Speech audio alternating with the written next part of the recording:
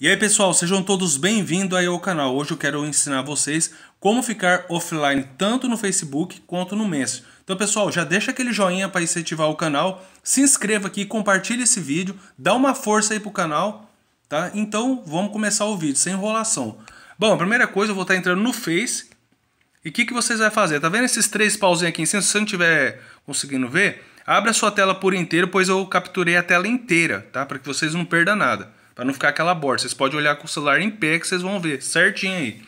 Então lá, tá os três pauzinhos lá em cima, tá? Eu vou estar tá clicando nele.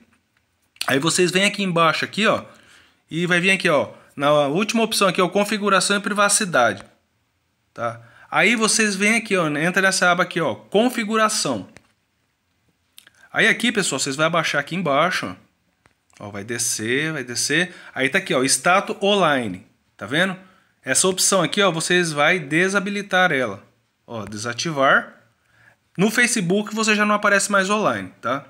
Fechou? Agora vamos para o Message. No Message, pessoal, eu vou fazer da seguinte maneira. Eu vou entrar pelo próprio aplicativo, tá? Aí eu vou clicar na minha foto ali, ó. É, lembrando que isso aqui é para 2020, tá? É 2020 é a última atualização que saiu agora, nesse exato momento. Aí eu entro aqui na minha fotinha, tá? E tá aqui, ó. É, status online, ó. Eu vou desativar, ó. Quando eu desativar essa função, ninguém mais sabe que eu estou online, ok? Ó. E uma outra dica aqui que, caso vocês queiram, eu gosto, tá? Particularmente eu gosto, é o modo escuro. Porque assim, às vezes você fica muito tempo, muito tempo olhando aí e tal, e esse claridão aqui na cara, com luz apagada, não é legal. Eu desativo. Caso você quiser, tá? Clica aí no botão. Bom, pessoal, era isso aí que eu queria deixar. Gostaria muito que vocês deixassem o comentário de vocês aqui embaixo, o que vocês gostariam de ver no canal.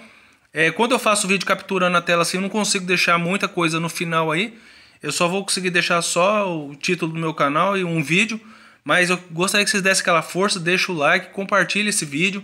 Tá? E se inscreva aqui no nosso canal, seja todos bem-vindos. Obrigado por ter assistido até aqui, fique com Deus, valeu, até mais e tchau!